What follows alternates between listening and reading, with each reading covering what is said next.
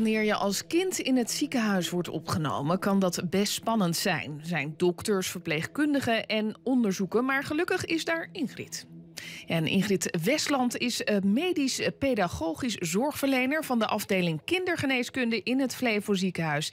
En zij zorgt ervoor dat kinderen zich eh, niet meer zo nerveus eh, maken en zich dus op hun gemak voelen. Ingrid, goedemiddag. Goedemiddag. Ja, ingewikkeld woord. Wat is nou eigenlijk medische pedagogische zorgverlening precies? Nou ja, laat ik eerst even iets rechtzetten. Ik doe dit niet alleen hier op de afdeling, maar samen met mijn collega's Sanne en Hedwig ook nog. Kijk. En hebben we een stagiaire bij ons lopen sinds gisteren, Anna. Dus het is niet dat ik het hier helemaal alleen doe, absoluut niet. Maar wat wij doen is dat je ehm, de kinderen voorbereidt op operaties, medische ingrepen. Dat je aan de hand van fotoboeken dingen kan uitleggen aan de kinderen, zodat het allemaal iets rustiger op ze over gaat komen. En niet uh, ja, patsbom gebeurt. Ja, want is dat zo belangrijk dat, dat je kinderen daarbij aan de hand meeneemt? Ja, absoluut. Want ik weet niet of jullie zelf ooit wel eens in een ziekenhuis geweest, maar van alles moet er en van alles gebeurt er. En dat gaat natuurlijk best in een rap uh, tempo als je eenmaal in een ziekenhuis bent. En nou ja, onze functie zorgt ervoor net even soms wat meer de rem op kan zetten. Uh, als een kind bijvoorbeeld hier voor een MRI moet komen, laten ze vaak een uur van tevoren komen, zodat ze een beetje op zijn gemak zijn. Er moet soms nog een infuus geplaatst worden, waar we ze op voorbereiden en waar we ze mee begeleiden als ze het infuus krijgen.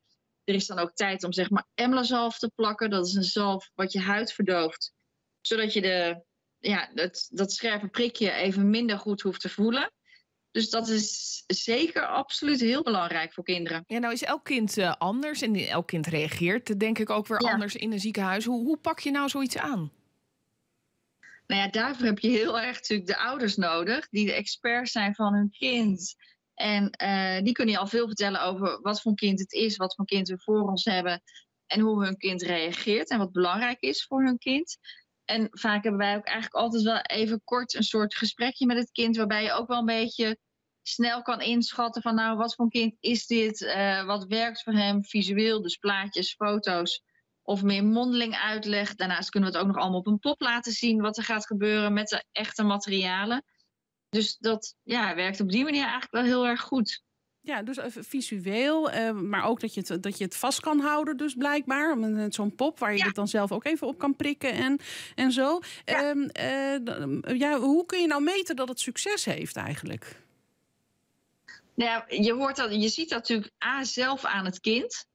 Je hoort het terug van het kind als ze wat ouder zijn. Dan kunnen ze inderdaad letterlijk tegen je zeggen van... oh, nou, dat was inderdaad wel fijn dat ik van tevoren wist wat er ging gebeuren. Uh, de meeste kinderen zijn gedurende de behandeling of de handeling die moet gebeuren... al een heel stuk rustiger, omdat ze soms letterlijk horen ze zeggen... oh ja, dat heb ik net ook gezien op de foto of in een fotoboek. Dus ze zien letterlijk, zeg maar, eerst in de voorbereiding wat er met hun gaat gebeuren. Daarna doet de verpleegkundige bij hun uh, het bandje om met je naam en dat soort dingen. Dus het is, het is heel voorspelbaar, maak je het daarmee. Ja, heb jij nou eigenlijk ook nog regelmatig gesprekken met uh, ja, de dokters in het ziekenhuis uh, over hoe ze dingen ja. moeten aanpakken? Want dat lijkt me eigenlijk ook nog wel belangrijk. Ja, en de dokters uh, die krijgen allemaal zeg maar, een gesprekje met ons als ze hier komen werken op de kinderafdeling. Maar de dokters zijn ook zo dat ze ons eigenlijk altijd wel bij medische handelingen heel snel erbij vragen. Van joh, dat of dat patiëntje moet een infuus. Hoe kunnen we het het beste aanfietsen? De dokters weten ook, wij bijvoorbeeld rondom een infuus maken wij vaak een plannetje met een kind van joh, wat vind je fijn? Um, wat vind je fijn ter afleiding? Moet de dokter helemaal vertellen wat ze doet?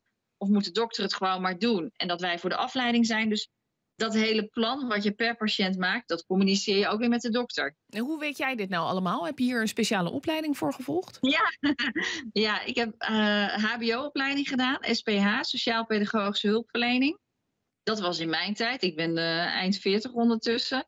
En uh, de stagiaire die we nu hebben, die doet de, ook HBO-opleiding Management en Pedagogiek. Dus die, met die opleidingen kan je. Uh, het is wel echt een HBO-functie, wat we hier in het ziekenhuis hebben. Ja, en je zegt al, je hebt uh, best een uh, flink aantal collega's. Hebben jullie het nou druk? Ja, het ligt op dit moment echt heel erg vol op de afdeling. Veel benauwde kinderen, RS-kindjes, kinderen met COVID van alles, maar ook een kind met een blinde darm. Of er kan van alles liggen.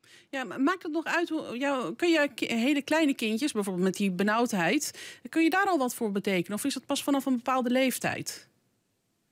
Ja, wat we bij uh, vanaf drie jaar, vanaf 2,5, 3, maken we vaak een kiwanuspop. Ja, die heb ik hier nu niet liggen, anders had ik die met liefde voor je gepakt.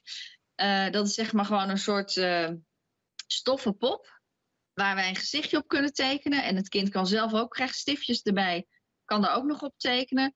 En bij die pop kan je dus ook een zonde doen of een infuus plaatsen, uh, de plakkers doen van je hartactie, een saturatiemeter.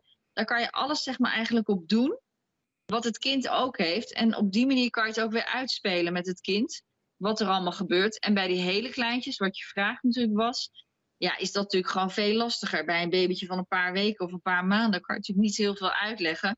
Maar kan je wel zorgen dat de situatie rondom de handeling zo fijn mogelijk verloopt voor zo'n kleintje. En dat je de afleiding eh, biedt op zijn leeftijd. Lukt het nou in de meeste gevallen om, om die kinderen te helpen, om ze gerust te stellen?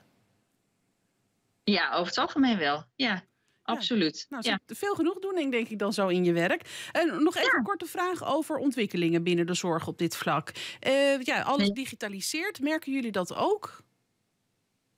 Ja, wij doen alles via de computers.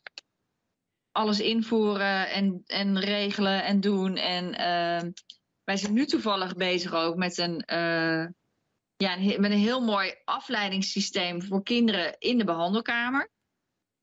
Maar dat loopt nu nog. Maar dat is ook iets digitaals. Ja, dus steeds meer kunnen jullie ook gebruik maken van robotica en al dat soort dingen, zodat het werk uh, steeds ook weer anders wordt en uh, steeds ook weer op een andere manier uh, jullie kan helpen. Um, ja, Ingrid, volgens mij, nou je zei al, je hebt het hartstikke druk. We laten je maar weer met rust. Of zit je werkdag erop? Ah. Uh, ja, bijna. Ja, nou goed. Nou, heel erg Ik was half acht op de afdeling, ja. Oh, ja Och, wat een lange toch zo. Ja. ja. Nou, uh, heel erg bedankt dat je dan eventjes uh, tijd voor ons hebt weten vrij te maken. Ingrid Westland, medisch pedagogisch zorgverlener van de afdeling kindergeneeskunde in het Flevo Ziekenhuis. Heel erg bedankt.